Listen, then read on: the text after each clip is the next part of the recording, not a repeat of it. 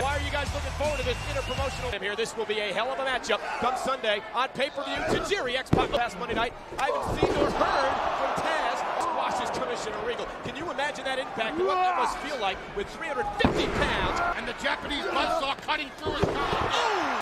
In control of Tajiri. And there's the quickness. Not going to setting up X-Pac, but look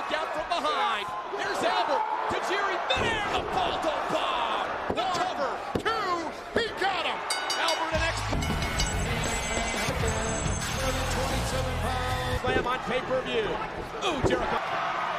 Chris Jericho swinging. Next here's RVD with a somersault across the slants on his feet. And there's a belly to back. A ball of fire in this one. Ooh.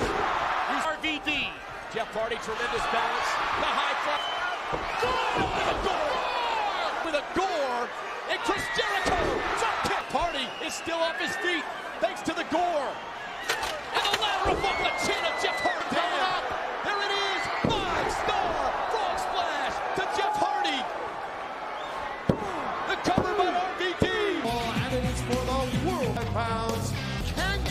Kanyon and a Taker finally gets his hands on Diamond Dallas Page. The man's on the Undertaker. uh, Christian up over the top, taking That Booker T would accept that challenge. And Taz, and we all saw how brutal a champion What do you mean they graded him? Christian. Commissioner Diamond Dallas Page in trouble.